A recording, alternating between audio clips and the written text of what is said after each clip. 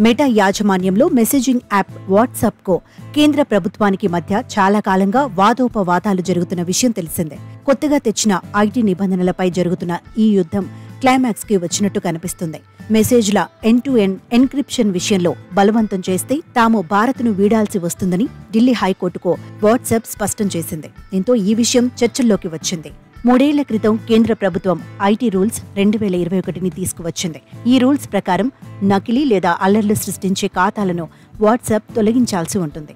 దీంతో చాలా వరకు ఫేక్ అకౌంట్లు పెరిగిపోయిన నేపథ్యంలో కేంద్ర ప్రభుత్వం ఆదేశాల మేరకు సమస్యాత్మకంగా ఉన్న వాట్సాప్ అకౌంట్లను వాట్సాప్ యాజమాన్యం ప్రతి నెల తొలగిస్తూ వస్తోంది. అయితే కొత్త ఐటీ నిబంధనలు రెండు వేల ఇరవై ఒకటిలోని పలు సెక్షన్లను సవాల్ చేస్తూ వాట్సాప్ ఫేస్బుక్ సంస్థలు గతంలోనే పిటిషన్ దాఖలు చేశాయి.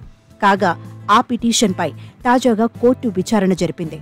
తాత్కాలిక ప్రధాన న్యాయమూర్తి జస్టిస్ మన్మోహన్ జస్టిస్ మన్మీత్ ప్రీతం సింగ్ అరోరాల ధర్మాసనం ముందు వాట్సాప్ తరపున సీనియర్ న్యాయవాది తేజస్ కరియా వాదనలు వినిపించారు.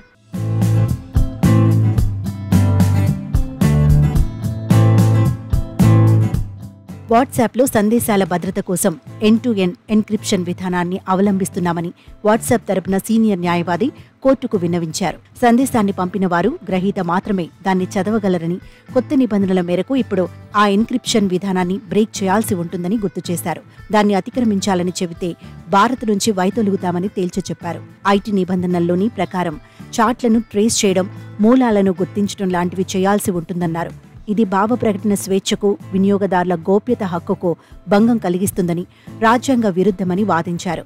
సామాజిక మాధ్యమ సంస్థలతో ఎటువంటి సంప్రదింపులు జరపకుండానే కొత్త నిబంధనలు తెచ్చారని ఆక్షేపించారు. దీంతో కోర్టు కలగజేసుకుని ఇతర దేశాల్లో ఇటువంటి చట్టాలు లేవా అని ప్రశ్నించింది. దీనికి కరియా బదిలిస్తూ ఏ దేశంలోనూ ఇటువంటి నిబంధనలు లేవు అని తెలిపారు.